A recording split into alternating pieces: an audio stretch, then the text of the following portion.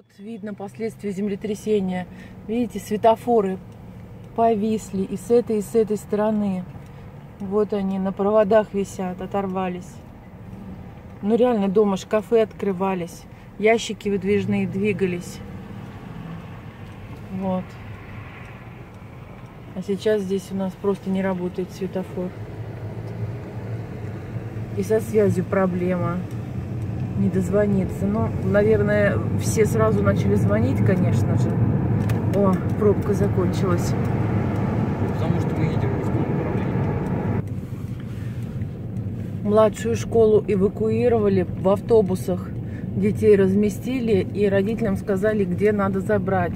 И вот мы едем за младшей девочкой. Вон автобус впереди.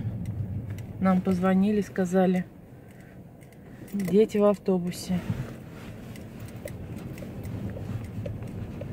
Их из школы вывели, в автобусы посадили и отвезли подальше от школы.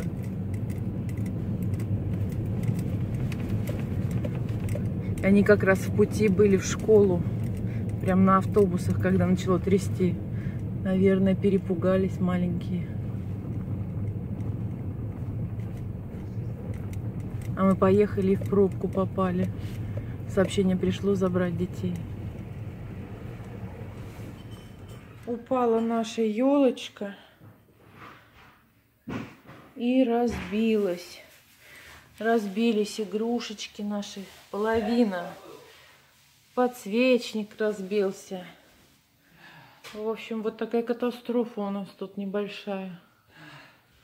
Вот это